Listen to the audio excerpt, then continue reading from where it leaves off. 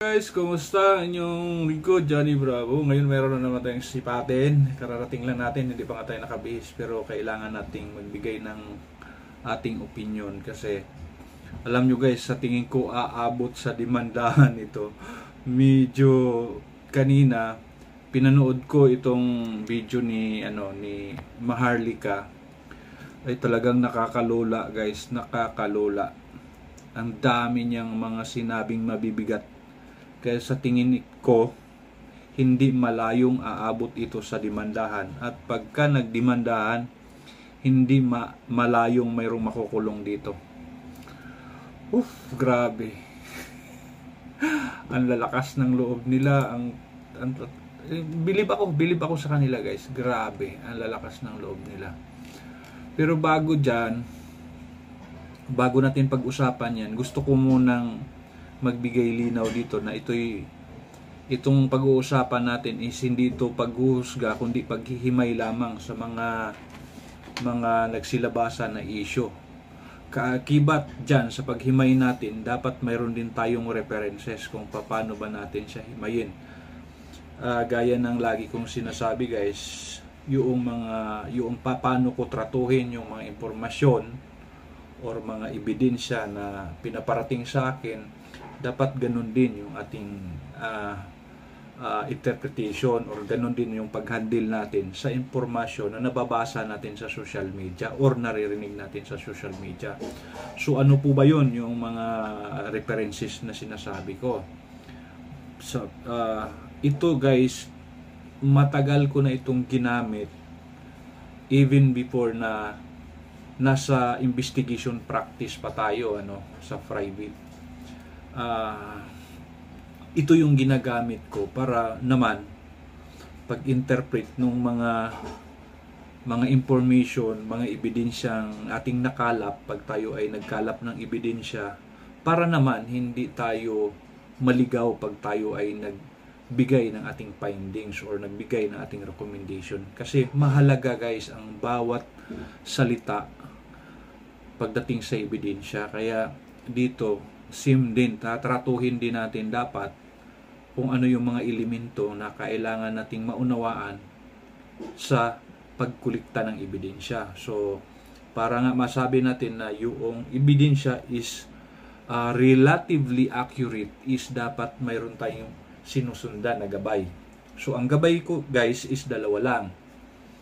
Yung approach na nasa satisfy niya yung legal requirements at saka yung pangalawang approach is nasa-satisfy niya yung yung tinatawag natin na common sense. So sa dalawa na yan guys, importante yan kasi diyan natin ma ma, ma mi-measure o matimbang yung bigat ng impormasyon na nakarating sa atin. So napaka-importante niyan. So uh, wala dito sa dalawang ito ay pwede na siyang makonsider na heresy, heresy evidence. So, marami dyan, nandyan yung, uh, yung insinuation lamang, mga assumption lamang. So, pag-usapan natin yan guys. Pero unahin natin itong dalawa. Yung tinutukoy ko, yung una, yung na, na nasasatisfy niya yung legal requirements na, na dumaan po ito sa series of uh, review. Dumaan po ito sa validation, sa evaluation, sa interpretation, sa review bago siya magiging uh, authentic na information or uh, relatively accurate information. Yung naman sa pangalawa is kailangan mo niya, muna niya masatisfy yung common sense. Ang common sense din kasi kailangan din niya munang masatisfy yung presumption or conclusive presumption. Ang conclusive presumption, kailangan din yan siya masatisfy din muna ng set of facts or facts. Magbigay na lang ako ng halimbawa para masimplify natin yung common sense. For example, i nandyan ka sa loob ng bahay mo, pahiga-higa ka, di ba? Tapos bigla kang nakarinig na sigawan, sunog-sunog. Pag silip mo sa bintana, mayroon kang nakita na usok at mayroon kang uh, nakita ng mga tao na nagsitakbuhan may dalalalang timba. Doon pa lang, pwede, pwede mo nang i-assume na mayroong sunog. So, nagkaroon ka ng presumption na may sunog. Yung nakita mo doon, guys, yung series of faction, yung nakita mo yung tumatakbo na may timba, nakita mo yung usok, nakita, na, narinig mo yung sigawan, set of factions. Yun yung nagka-qualify doon sa presumption. At yun din yung presumption, yung nagka-qualify or nagsasatisfy sa common sense. So, doon sa senaryong iyon, pwede mo nang i-assume or na mayroong sunog. So, common sense na lang ang gagamitin doon. Pero, lahat ng yon is pwede pa rin i-challenge. Anong ibig ko sabihin? Pwede yung kontrahin, pwede rin yung uh, pwede rin yung i-repute or pwede rin yung pasinungalingan. So, ganun po yun guys. Ngayon, puntahan natin ito yung mga issue kay Maharlika. Medyo ang bibigat ng mga sinasabi guys. Mayroon na akong i-summarize dito siguro kasi mukhang mahaba din ito. Pero sige, paparinig ko sa inyo paparinig ko sa inyo ganito i-atras natin niya makikita niyo dyan yung aking kamay alright tapos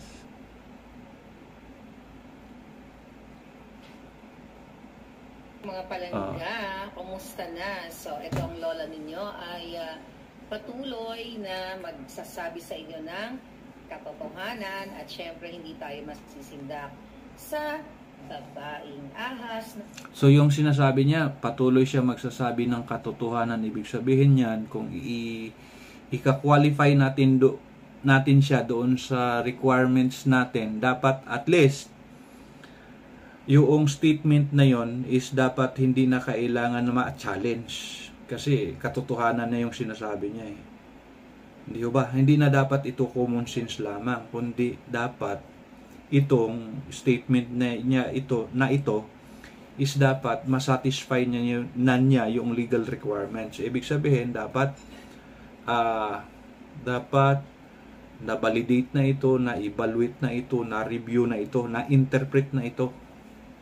Ganun dapat. Yung ganun, ganun ang ang ang pagkakaunawa natin dito sa sinasabi niyang uh, lagi siyang nagsasabi ng katotohanan. Kaso nga lang, Pagdating nito sa atin, kung tayo naman ay receiver doon sa kanyang information na yon, yung kanyang sinasabi, manatili yung subject to verification pa rin yan, yung sinasabi niya. So, hindi pa rin natin yan makonsidera na common sense siya at hindi rin natin siya may konsidera na nasatisfy niya yung legal requirement. So, papatuloy natin.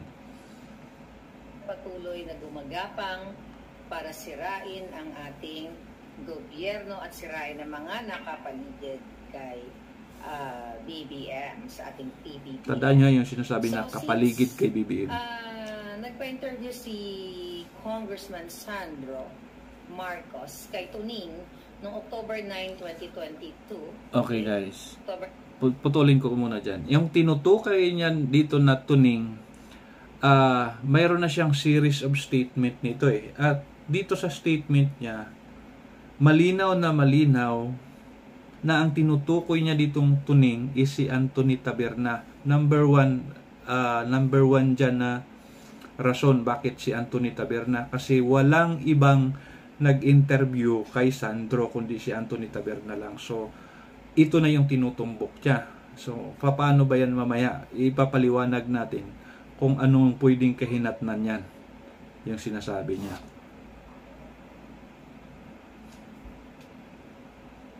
na, nasa cruise kasi ako noon. Yeah, saan ba ako noon? Okay, so busy ako. Busy ako naglamierda. Saan nga ba ako? Yeah, I was busy. Nagliwaliw ako. So ngayon ko lang po sasagutin ito mga palangga. Uh, Unang-una, gusto ko lang sabihin sa inyo na alam ko yung mga takbuhan ng mm-hmm. interview. Alam Kasi siguro niya. naman, hindi lingit sa kaalaman ninyo na na-interview ko rin si Sandro during the campaign period. Oh, diba? take, note guys ha. Ito si Marlika magaling siya mag-explain eh. Napakagaling niya. Talagang madala ka sa kanya. Pero take note ha. Uh, yung sa sinabi niya sa statement niya na yun, maaring once lang niya na interview si, si Sandro. Pero hindi ibig sabihin niya na since nakapagkanda ka na ng interview is uh, will train ka na in terms of interviewing people. Hindi po ganun yun. Hindi, hindi po ganun yan guys. Napaka napaka tedious uh, job po pagdating sa pag-interview, pag-imbestiga. Hindi po yan ganun kasimpleng bagay. Kaya tuloy muna natin.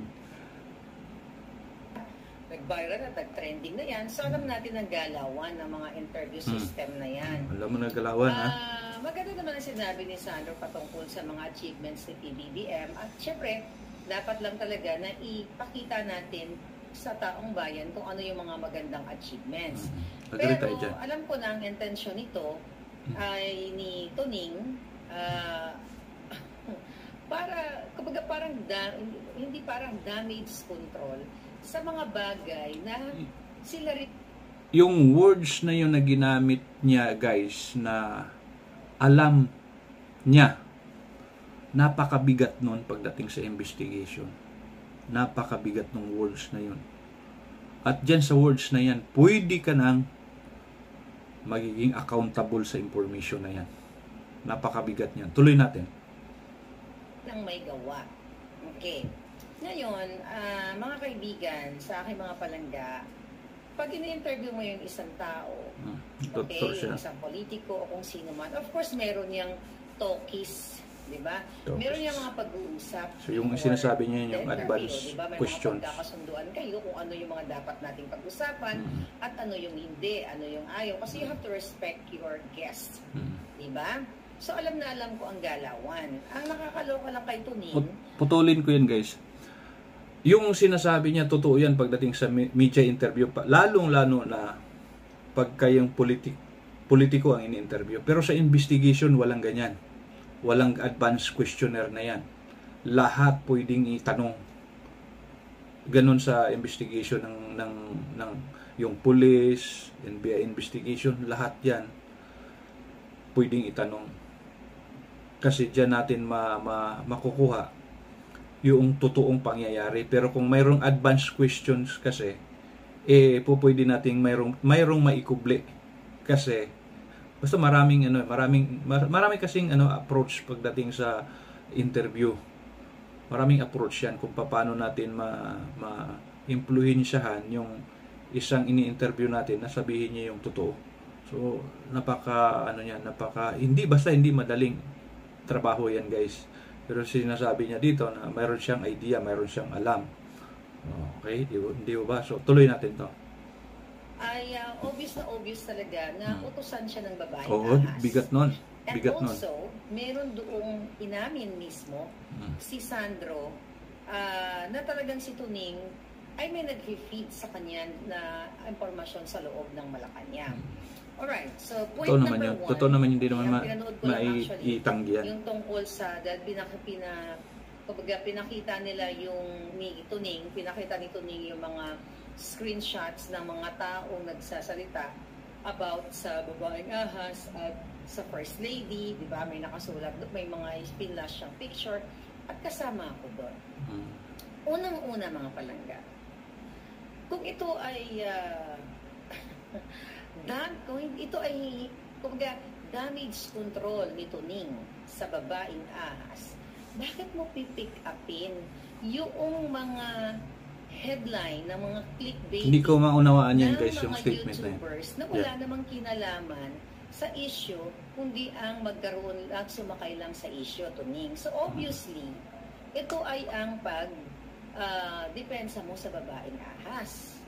O, di Hindi ko makuha yun. No, unang-una, hindi ko makuha yung Sino ba statement. nagbigay na. ng pangalan, di ba? Marami naman, may mga nag-comment nga dyan eh, iba't ibang pangalan kung sinong babaeng ahas. Di ba kayo, si Tuning at si Taning, kayo ang nagbigay ng pangalan. In your own, maybe that's how you feel. Maybe sa tingin ninyo na ang babaeng ahas ay ang Yung, yun yung sinasabi niya dyan guys na sila, si Anthony Taberna at iba pang vlogger ang nagpa, nagpangalan kay First Lady na ahas pero hindi nanggaling sa kanya. Pero malinaw naman sa atin na yung mga blind items niya is yun yung tinutumbok nasa Malacanang at ah, yung sa description nga niya doon sa babaeng ahas, lumalapit yung lumalapit yung identity doon kay kay First Lady. Yun po yung yun po yung katotohanan ngayon para siyang dumistansya na hindi ito nanggagaling sa akin kung si First Lady ang tinutukoy ninyo abay hindi ako ang nagsabi niyan. Pero hindi, mali. Hindi na po yan makakaligtas yung ganong statement. Kasi nagdugtong-dugtong na po yan. Nagdugtong-dugtong na. At doon sa pagdugtong-dugtong at pupwede na po yung mai maikunik. Uh, ipapaliwanag ko sa inyo kung paano yan magi, ma, magiging mag-qualify doon sa cyber libel. mamaya, maya. Papaliwanag natin yan. Ha? First Lady, sa inyo nang galing yan, mismo kay Taning. Yan yung sinasabi Kay niya. Taning. Oh, di ba? Sa kanya nang galing na ang babae nga, Oh. is si First Lady. Oh. Hindi yan galing sa akin. Mhm. Galing yan sa inyo. Mhm. So ito ay, sabi ko nga, kitang-kita na talaga naman itong dalawang ito, partner. Partner kayo dahil kayo ay ang mga kaluluwa nyo, hindi naman talaga para sa bayan. Alam mo yan. Kaya ang tanong ko nga sa'yo, Tuning, tama ba? Na, pa- 5 million ba ang budget So, sa'yo? yan. Ang Kada bigat buwan? niyan, guys. Nako, ang bigat niya. Dahil kailangan Ang mo, bigat niyang statement na yan. Oo. Napakabigat. Huwag tuning. Dahil hindi ka para sa Pilipino, nangingi ka nga ng pera sa mga viewers mo. Kayong Oh, dalawa ni isa pa yun. Tuning, partner kayo. Yung, Nangingi yung, kayo ng pera. directly. oh, nanghingi raw ng pera directly. Napakabigat niyan, guys. Napakabigat niyan yung statement na yan. At mamaya, titingnan natin kung saan yan saan yan magka-qualify yung sinasabi niya. Tuloy lang natin, ha? Nangingi ng pera sa kanila. But anyway, move on tayo mga palga sa issue. Sabi ni, ni ano, ni ah, Taning, ay ni, ni Toning, ni Toning, alright. sabi niya, tinanong niya si Sandro.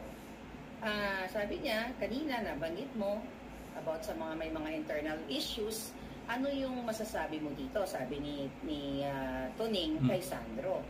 Ito ang very ano, very obvious na sagot ni Sandro. Sabi niya, ikaw sa lahat, alam na alam mo naman. I don't want to delve too much into it.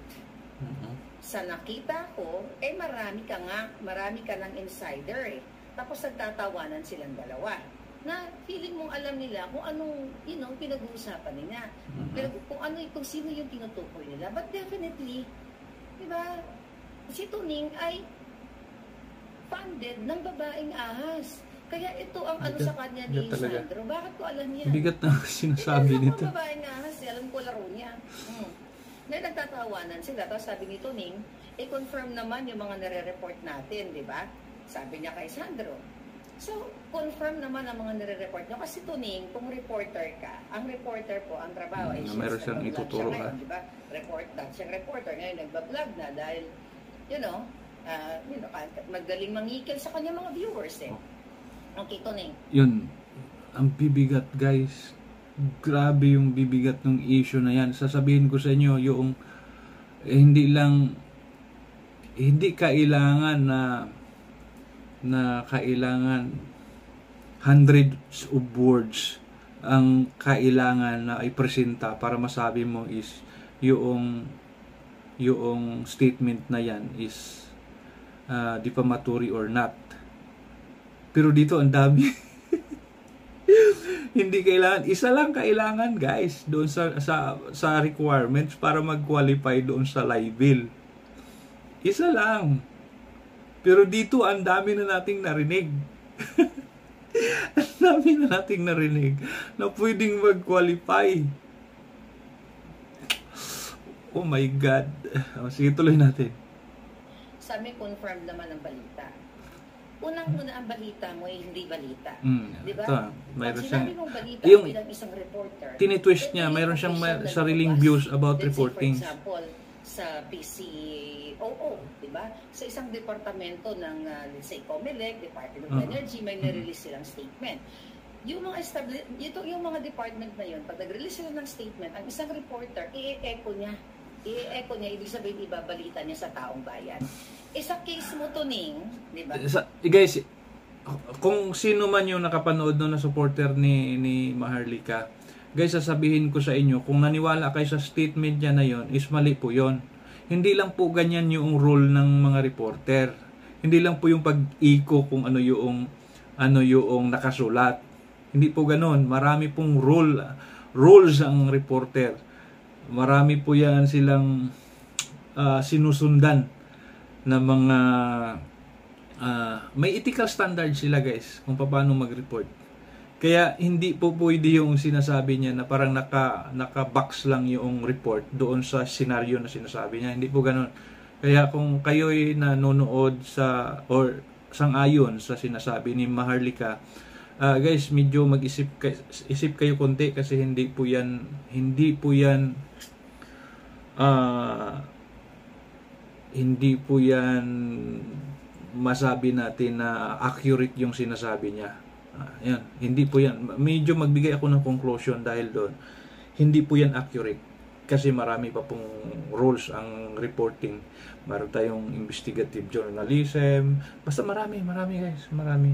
Eh, hindi po po pwede. Kung, man, o kung naniwala kayo sa kanya, nadala kayo sa yung statement na yun, uh, ano, ano kayo?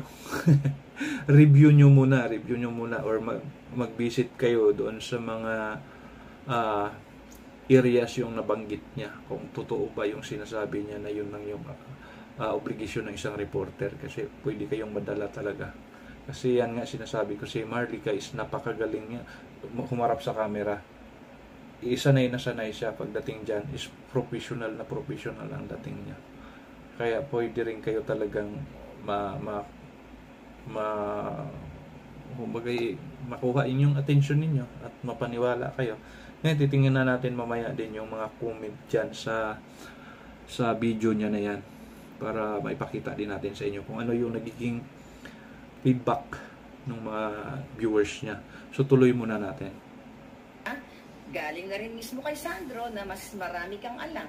Diba? Sa case mo, hindi yun balita, hindi confirm ang balita mo finid sa iyo yung mga official information. Regardless kung pinid, balita pa din yung Finid sa inyo ng babaeng ahas, sa iyo, kay Tuning, ay ikaw Tuning, at kay Pani. Regardless kung yung pinid, regardless kung pinid, balita pa din uh, yun. documents, yung mga panggobyerno lang finid sa inyo to destroy someone. Hmm. Hindi yun report.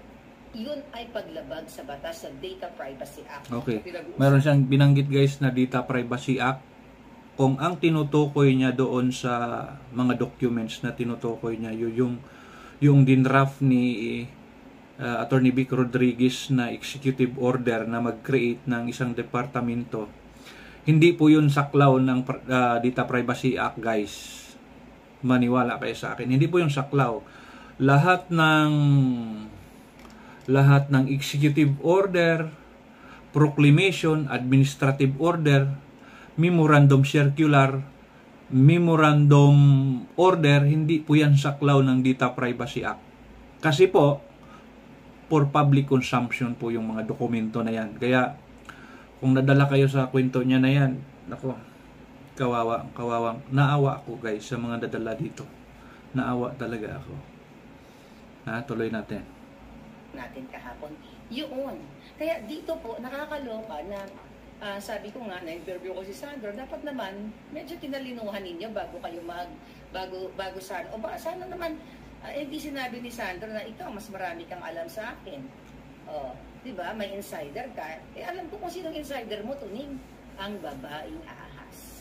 Di ba? Mali, mali yung inyo, mali yung inyong, uh, uh, dapat nag-meeting muna kayo bago ang interview. Alam na, alam ko yan. Hmm. Dami niya alam. Interview ko yan si Sandro eh. Na-interview si Sandro. Dahil interview na si Sandro, alam niya na lahat. Pero obvious na obvious na si Taning ay talagang sugo ni hmm. babaeng ahas. Di ba? O, tapos sabi pa ni Sandro, ni Sandro. Kasi guys, oh, ganito. Ano kaya ang pwede niyang mai-provide na ebidensya na si Tuning sugo ng babaeng ahas? Kung ako ang mag-imbestiga niyan, dapat ang ang evidence na kailangan kong kailangan kong makuha is yung mayroong relationship doon sa utos. Kasi utusan ka mo eh, sugo ka mo eh, sugo. So paano na ba natin yan ma-prove ma, ma-prove na mayroong utos or utusan si Tunying ng babaeng ahas. Ano ba yan? Hindi ho ba? So yung kasi is insinuation lang kasi ang ginagawa niya na yan. eh. Nag-insinuate siya ng isang issue. So tuloy natin ha.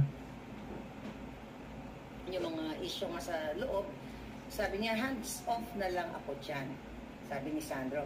Pero ang sasabihin ko na lang sa ating mga viewers, sa mga ah, sa mga mga nangyayari sa background na hindi lumal, na maraming mga sabi niya, sabi niya sa ating mga viewers, sa mga maraming nangyayari, okay? Maraming nangyayari sa background na hindi lumalabas sa publiko. So, magtataka ngayon, ano kaya ibig sabihin ni Sandro na maraming nangyayari sa background na hindi inilalabas sa publiko? Okay. Habang binabanggit ni Sandro yon, kahit tignan nyo yung video nito, Ning, hindi natin pwede i-play kasi makapiright tayo, re-report tayo ng hitad. Alright, maraming nangyayari sa background na Mhm. hindi alam ng publiko. Sapos sabay pinakita, flash ni Tuning ang picture ni Trixie at ni Attorney Vic Rodriguez. Question. Alam ko, okay, Hmm, hindi pala mo na question. Alam na alam ko na ang may dahilan kung bakit nawala sa picture si Vic Rodriguez, si Attorney Vic at si Trixie ay dahil sa babaeng ahas. So hindi naman binanggit ni Sandro ang pangalan ni Vic Rodriguez at ni Trixie. Eh bakit pinakita ni Tuning ang picture ni Trixie at ni Attorney Vic? Well, alam ko ng sagot. Kasi yun yung utos ng babaeng ahas to destroy these two personas. Huh? Diba? Oh, Kahit sinasabi niya dyan guys na to destroy daw yung kay ano nga kay Attorney Vic at saka kay Attorney Trixie. Kung titingnan din natin, sundan din natin yung kanyang lohika na yan. Anong mak ano ba ang makukuha or mapapala ng babaeng ahas sa dalawa na wala naman na sa Malacanang? Hindi ko ba? Kaya kung sundan natin yung ganong logic, napaka-imposible. Maraming questions. Kaso nga lang, napakagaling niya magsalita, kaya medyo may nadadala talaga. Di ba? So, nakaka nakakaawa ang yung mga naniwala. Ito guys, isang gusto kong sample ha. Kaya hindi tayo naniniwala na si Marcos Sr. ay ay masama pagdating sa martial law kasi ni isang ebidensya na nagpatunay na si Marcos ang may utos doon sa karahasan noong panahon ng martial law is wala tayong ma-recover. Wala tayong makuha. Kaya hindi tayo naniwala na si Marcos ang nag-utos doong karahasan na yon. Ang nakuha lang natin na impormasyon is mayroon ngang karahasan during martial law at mayroong martial law. Pero kung si Marcos ang nag-utos ng karahasan, eh, wala tayong makukuha ganyan. Kaya hindi tayo naniniwala. Di ba? Ganun din. Sana mai-apply natin dito. Pa- Paano tayo maniniwala sa mga sinasabi niya kung wala tayong makuhang solidong impormasyon, ah, solidong support dyan sa mga sinasabi niya lahat kasi yung sinasabi niya para sa akin, ano eh, nag-insinuate lang siya ng mga issue.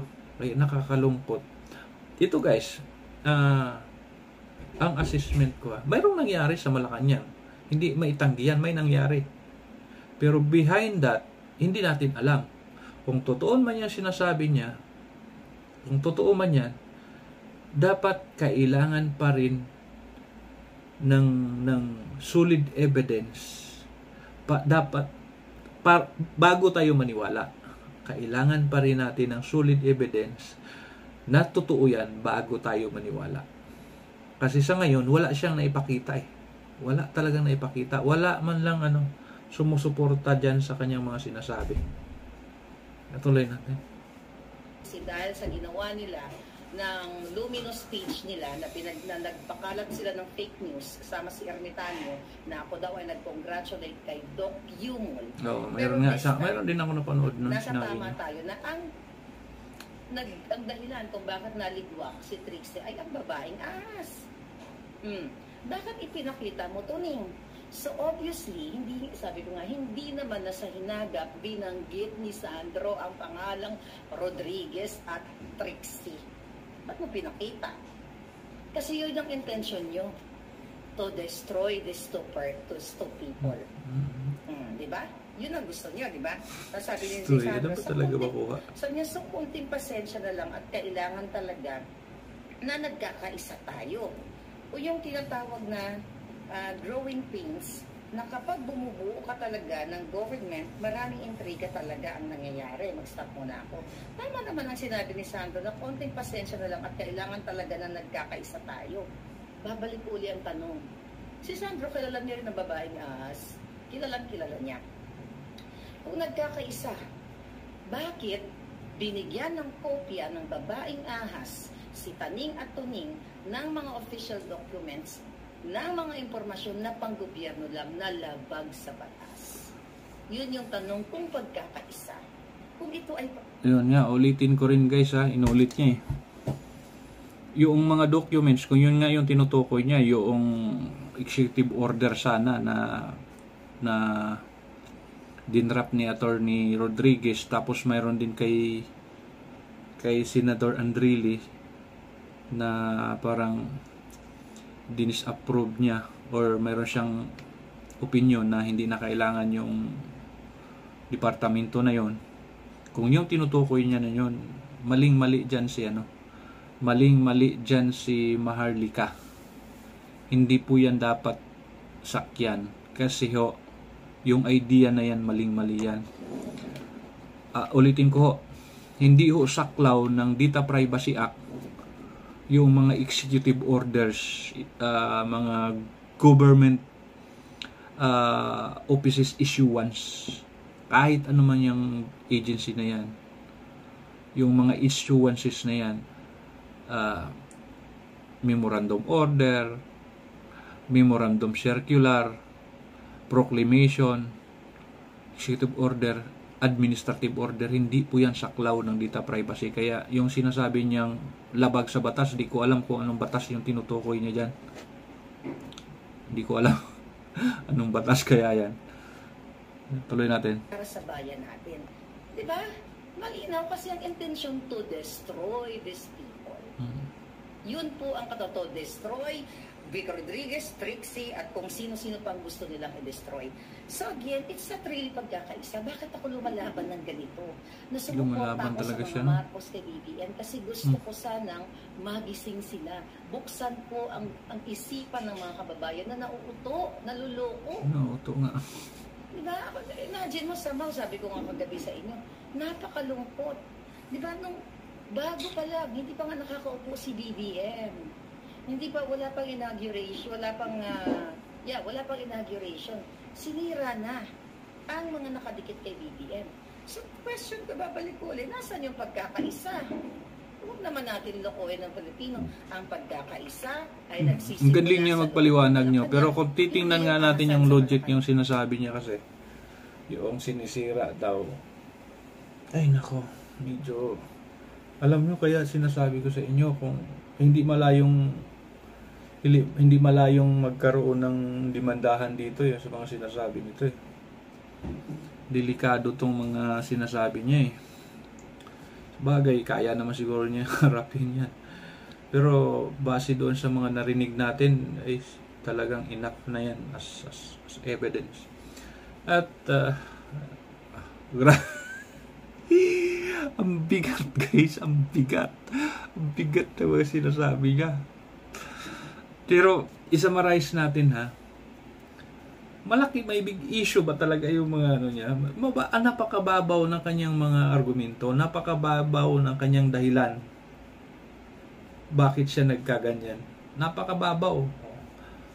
Ano bang ano bang nawawala sa gobyerno kung halimbawa si Vic Rodriguez at yung kanyang mga galamay dyan is nawala sa gobyerno? Malaki ba silang kawalan? Yung pumalit ba is ano ba yan? Banta sa seguridad ng bansa natin yung mga pumalit. Parang ganun yung datingan nung yung mga sinasabi niya eh. Pero hindi yan, hindi yan ganyan guys. Maaring may dahilan, maaring hindi nagustuhan. Si si Vic Rodriguez yung tinutukoy niyang ahas. Pero hindi yun ganun ka big issue na ka, mag, magaganyan siya. Hindi ba ba? Napakabigat ng, ng mga akusasyon niya. Ay, ng, ng, eh, eh, sorry for that word, ano, akusasyon. Ng mga statement niya na yan. Kasi nga, yung statement niya na yan, kung hindi niya ma-prove yan, tagilid siya dyan. O kahit ma-prove niya. Dahil injurious yung mga statement niya yan. Ay, nako. Tuloy natin. Yan. The fact na sinabi na ni Sandro na maraming nangyayari sa background na hindi lumalabas sa publiko, hindi ba dapat deserve ng publiko kung ano ang nangyayari sa background? But I am telling you now na ang nangyayari sa background na ayaw ilabas, okay, ito yung kaguluhan na nilalabas ko na ngayon. Na at this moment in time, ang babaeng ahas, sabi ng aking, ah, ano doon, ng aking bubwit, di ba, ay gustong tanggalin ang lahat, halos kung pwede, posible, ang mga appointees o mga na-appoint during uh, Rodriguez time. Kasi Hmm. ayaw niyang, the moment Yun, yun, yun yung sinasabi ko guys. Regardless kung tanggalin niya lahat. Pagka tinanggal lahat sa tingin nyo ba, kayo i-assist ninyo, banta ba sa seguridad ng Pilipinas yan? Di ba? No. Hindi ho ganun. Hindi ho ganun. Hindi ho kawalan ng Pilipino pag nawala sila Rodriguez at yung mga kanyang mga kasama. Hindi ko sinasabi na na okay din yun at tanggalin lahat ha. Pero the way siya kasi nagsalita, parang napakalaki ng issue na na nire-raise niya. Tingnan nga natin, napakababaw ng ano eh, napakababaw ng issue para magaganyan siya. Hindi ho ba? ma-associate ka kay Vic Rodriguez or kay Maharlika, kasama pa nga eh. Hmm. Di ba, kasama pa nga ako, di ba, sabi ko sa inyo paggabi, ay kailangan mabura ka sa Malacanang. Ang tanong, mga palangga, yun bang nag-apply? Ito, ito, ito ha, sandali ha. Kasi sinasabi niya kung ma-associate ka kay Maharlika. Bakit ano bang ano bang mayroon sa kay Maharlika na magiging banta ka doon sa mga sa paksyo ng babaeng ahas, hindi ho ba? Ano bang mayroon sa kanya? Para bang eh senador nga na senador siguro mayroong hawak na kapangyarihan sa gobyerno. Hindi magaganyan o mas ganyan eh.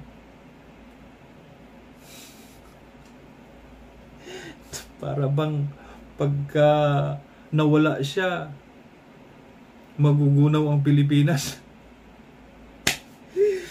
ay naku ay saklap nito guys sige tuloy natin Noong panahon ni Vic Rodriguez as Executive Secretary, definitely hindi naman nakakilala yung mga yun lahat. Yung mga yun ay dumaan sa proseso. Eh bakit sasagasaan ng babae nga dahil sa personal niyang galit kay Vic Rodriguez? Bakit niya sasagasaan? Bakit hindi yun yung ang bigyan lalim niya, alam, ang lalim ng galit niya tungkol ko diyan, ano? na maaaring willing to work with the government. I don't know them. I'm just Mm. fighting for the truth and fighting for the for what is right. Hindi porket na associate. Fighting for the truth. Ano ba yung truth na sinasabi niyo? During sa panahon. Di ba? During Vic Rodriguez, di ba? Ay tatanggalin mo dahil iniisip mo, o ano yun, tamang hinala. Ito ba dahil kasi singot ng polboron? Oh, yan, mabigat na. Huwag Sus, naku, ma- mabigat. Huwag ganun. O, mga ganyan. Di ba?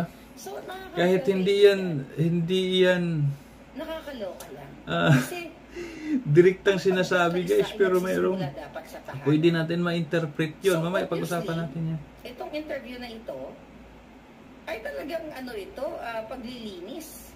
Ba? Sa pangalan ng mga taong involved na hindi naman pinangalanan at sila naman ang pang- nagpangalan kung sino ang babaeng ah. Sabi ko nga, Ang daming dipik kasi guys eh, kaya kaya ko kaya ko nag-react talaga dito kasi ang daming dipik na kanyang sinasabi. Ano magagawa ko? Yun ang tingin niya sa first lady. Siya ang nagbigay ng pangalan. Ako, hindi ako nagbigay ng pangalan up to Hmm. this moment. Paulit-ulit siya na yun, ah. Bakit todo depensa? Bakit, bakit yung dinadrag yung pangalan ng First Lady? Hmm. Bakit pinapatulan nyo yung mga clickbaiting? na mga Maharlika, sinabi na si First Lady ay ganito. Eh wala namang ganon. Definitely, ang purpose ni Taning, ni Taning at Tinuding ay sabihin sa Oh, kung napapansin nyo guys, ang nili ang ang ini-explain lang niya na hindi galing sa kanya yung words na si First Lady yung ahas. Yun lang yung yun lang yung kanyang statement. Pero hindi niya sinabi doon na hindi si First Lady ang tinutukoy niya. Hindi ho ba? Di ba? Pero marami ng series of uh, statement na ginawa niya na naglilink talaga. Naglilink na kumbagay uh, lumilinaw na ang tinutukoy niya ay ang First Lady. Hindi naman siguro tayo tanga lahat para paikutin pa niya tungkol dyan. Kaya gusto niyang palabasin ngayon na yung pagpangalan sa First Lady na ahas is hindi nanggaling sa kanya. Di ba? Pero hindi lumabas sa kanyang bibig or hindi niya sinabi na hindi ang First Lady ang tinutukoy niyang ahas. Yan yung malinaw. Mga tao na si Maharlika ay ganito, ganyan, ganyan, to attack me. Di ba? Para yung mga viewers attack me. Wala akong pakialam kung umatake kayo. One day, you will say, thank you, Maharlika, for doing the right thing. Di ba? For Sigurado, doing a sigurado siya na tama, tama, One tama day, yung kanyang ginawa I, niya. I, I, will, I will expect that very, very soon, mga Hmm. palangga. Oh, ang sabi ni Sandro dito, ang hirap eh, napapahamak si Sandro dito dahil sa ambisyon ni Tuning at sa maling diskarte ng babaeng ahas. Bakit? Bakit ito depensahan ng First Lady? Hindi man siya pinapangalanan.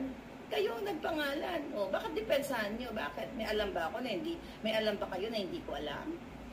Hindi ko- pinangalanan? Walang binabanggit na siya. Yun ba ang tingin nyo, ahas? Eh, hindi ko problema yan. Kaya galingan nyo ngayon. Hindi ko, guys, kasama yung mga staff ni... Hindi ko maga, gaano First Lady, ma, ma, dahil bayad kayo. ma-interpret Kung yung ang pangalan niya. yung kanyang may merong binigay sa relo is kapitan, kanan ba yan o kaliwa? Kasi yun. nandoon yung kanyang mata ito. Sabi ni Sandro mga pala. Ah, nandoon yung kanyang mata. Pag nagsasalita siya umakyat. Mayroon kasing interpretation yung mga ano dyan, yung mga psychologist.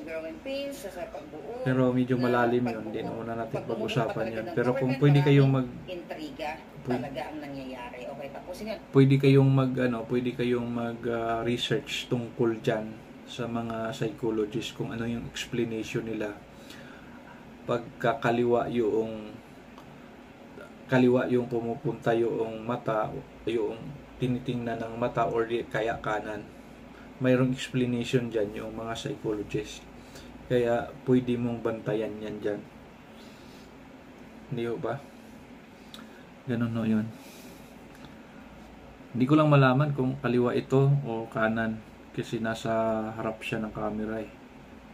O kung naka-flip yung camera niya, hindi natin alam. So tuloy muna natin. Maraming intriga ang nangyayari. Sino ba gumawa ng intriga?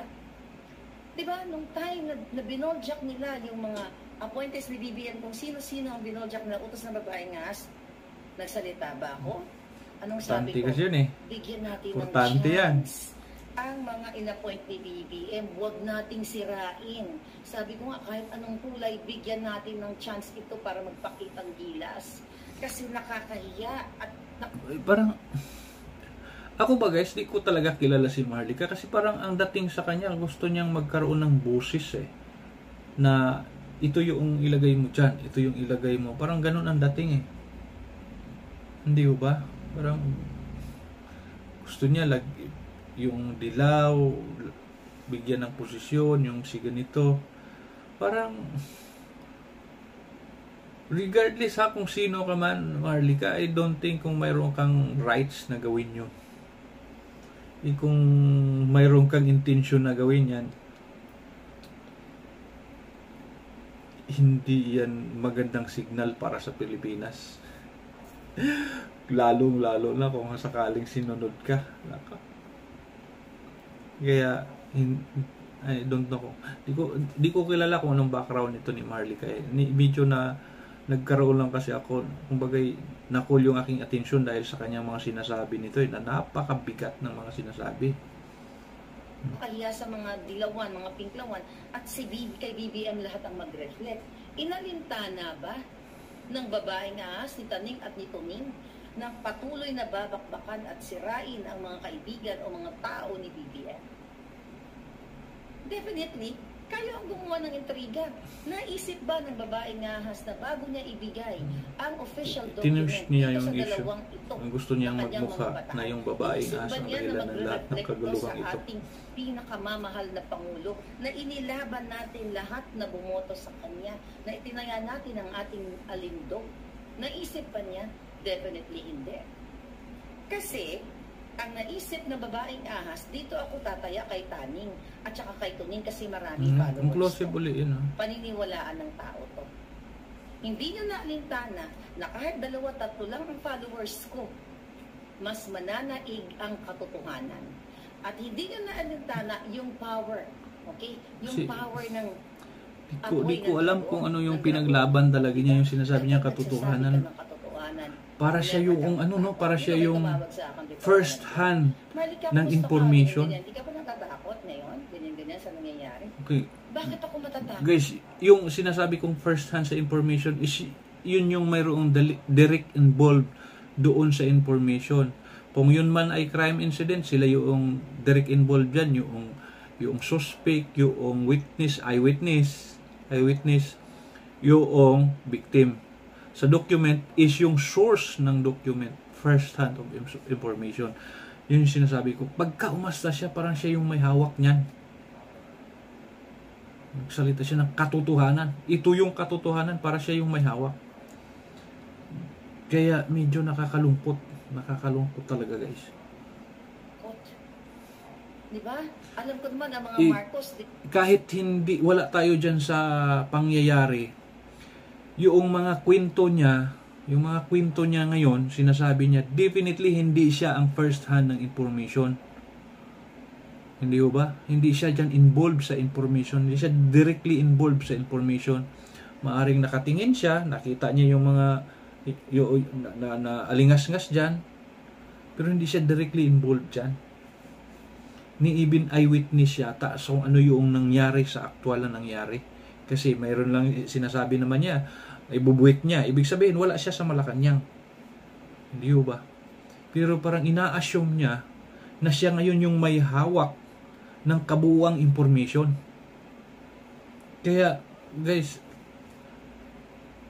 pag-isipan nyo maigi kung kayo man ay taga-suporta ni Maharlika, hindi ko naman sinasabi wag na kayong sumuporta sa kanya, pero aralin nyo yung kanyang sinasabi kung mayroon ba talagang basihan kasi napakabigat ng mga sinasabi niya eh.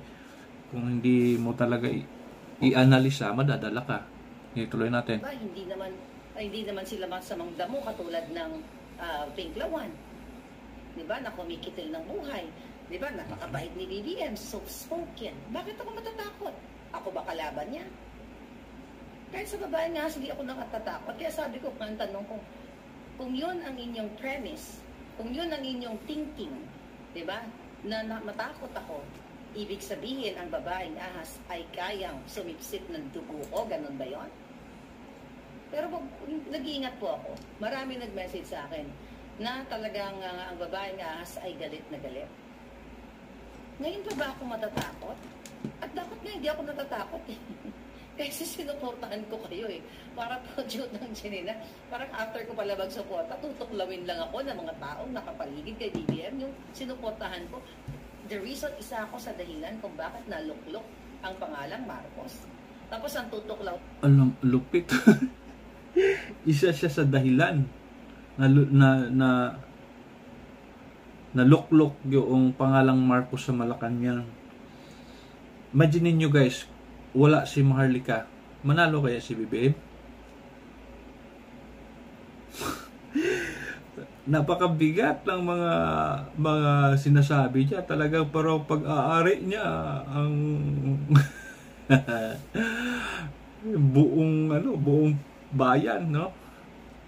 Parang mayroon siyang party sa buong bayan na ito yun. Siguro mayroon kang naiambag, pero isa ka sa nagpanalo, eh ba yun, napakabigat. Napakabigat yan. Biruin mo, isa ka sa nagpanalo. Bigat. Sa akin, ang naglilingki sa akin ay isang babaeng ahas. You're not gonna win para sa katotohanan. Mahaba pa ba to? Mahaba pa, guys. sino-sino. Mahaba Diba? pa. Eh, hindi nga kayo nagbayad sa akin. Hindi na, hindi na nga. Diyan hanggang dyan na lang muna tayo. Doon sa bigat ng kanyang mga sinasabi, grabe na nalula ako doon sa kanyang mga sinasabi. Kaya guys, basahin ko sa inyo yung ilang provision doon sa cyber libel. At ah, yung mga importante lang. Kasi may court decision din tayong binasa. Eh, ang haba din eh. Kaya mas lalo tayo tatagal. Yung importante lang, ano ba itong cyber libel? Ang sinasabi dito guys, cyber libel is a public and malicious imput- imputation of crime or vice or defect, real or imaginary. So, oh, ito pa, or or any omissions, conditions, status, or circumstances tending to cause dishonor, uh, discredit, or contempt of natural or juridical person or blacken memor- memories who is dead. Yun. So, ano yung qualifications dyan, guys? Anyway, ano yan, apat ang qualifications niyan. Pero isa na lang yung babanggitin ko sa inyo. Ito lang importante, yung third requisites. Kasi, yun nga, yung sinabi ko sa inyo kanina, hindi kailangan pangalanan. Ito nakalagay sa third requisites. It is not necessary that person's defame is named. Hindi kailangan pangalanan. Ang karugtong, if the totality of the publications makes it possible to determine who is the defamed person is. Di ba? Hindi na kailangan pangalanan. Kahit hindi niya pangalanan, yung tinutukoy niya dyan na tuning is si Antonita Berna yan. Kasi nga, wala namang ibang nag-interview kay Sandro.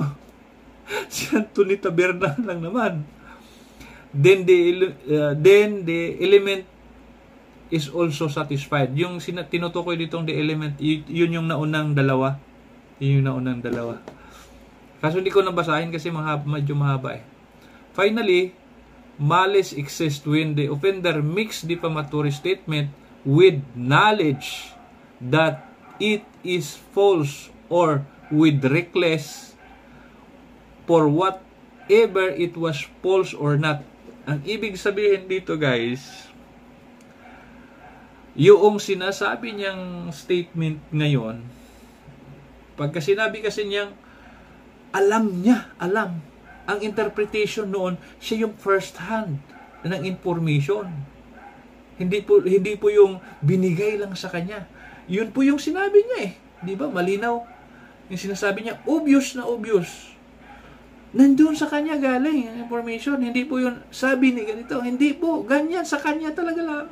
Siya yung may alam. Kaya, yung sinasabi ko sa inyo, pag yung mga tinamaan niya dito, naghabla, abay, iiyak si Marika. Iiyak kasi sa dami niyang binanggit niya dito, at may mga binanggit pa siyang nauna, pwedeng bibilangin yan lahat. pwedeng bibilangin yan lahat, guys. Dito, ang dami niya nang nabanggit eh. Hindi ba? Ang dami niya nang nabanggit. Ay, nako. Guys, guys, medyo na sumakit talaga yung ulo ko. Ang sa akin lang kasi, oh, ti- tingnan natin yung mga comments ng ano ha. Bibintangan yun na binayaran ako ni Vic Rodriguez. Eh, hindi wala Eh, titingnan lang natin, ha? Kanya, ni. Wala nga akong picture na hindi ko nga siya nakita. Nagbayad ba kayo sa akin, babae nga? Sandali lang ha. Picture na hindi ko nga siya nakita. Nagbayad ba kayo sa akin, babae nga? Hindi natin masanali lang. Kasi... Ni piso, wala kang binigay sa akin. Na, na, naka, naka ano lang kasi tayo guys.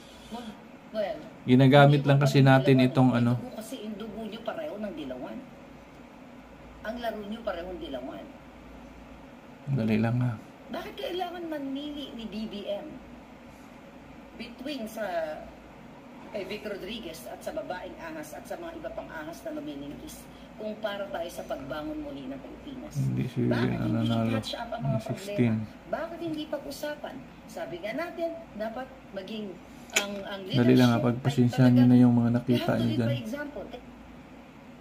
Ito, ito. Ito yung ano nyo. Mga comment. Magbasa tayo ng comment ng ilang na naka ano. Oh, sinabi dyan oh. Itong si Chris Ernie. True Madam Marlika, wala naman sinasabing pangalan. No? Wala nga sinasabing pangalan. At ikaw talaga ang tapat na supporter kay BBM. Oh, paliwalang paniwala, di ba? Proud of you, Madam Marlika. You are so bold in speaking the truth praying always for your safety. Di ba paliwalang paniwala sa kanya? Hi Maharlika, yes, you are right. One day, malalaman nila ang totoo. Sinasabi mo. Yun yung mga nadala niya, guys. Yun yung mga nadala niya. Naawa ako sa mga yan kasi nga kawawa talaga kaya kung kung talagang totoo may may malasakit ka sa bayan hindi yung mga ganitong content ang gagawin mo eh dapat yung makakatulong kaya nga sa akin as much possible gusto kong gumitna sa lahat ng issue kahit na ba naman eh pro administration ako gusto kong gumitna ayaw ko sana kasi mag-away-away eh yung mga vloggers, even mga politicians kasi hindi tayo uusad eh kung maghihilahan tayo pababa. Walang mangyayari sa atin. Kaya ito nakakalungkot na ganito yung mga mga di umano'y supporter daw sila pero kita mo naman sila ang sumisira. So, guys, kayo na ang maghusga. Ah, maramat, maramat. Salamat sa panonood. Medyo bulol talaga ako. Hindi talaga ako galing, magaling mag, magsalita. Pero, sa bagay, ganito lang, si Bisaya ako, eh, kaya hindi talaga ako magaling magsalita. Pero, yun nga, yung mga nakita natin, ano, nakakalula yung kanyang mga sinasabi.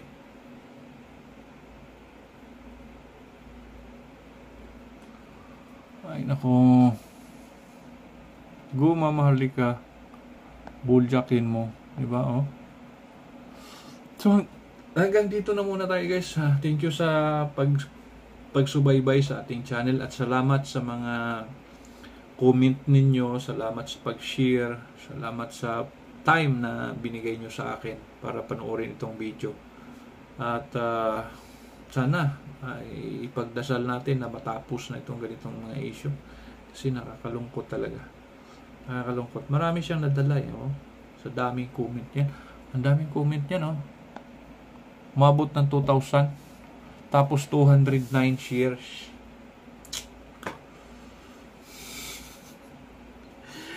Ay, nako. Sige guys, dito na muna. Bye-bye.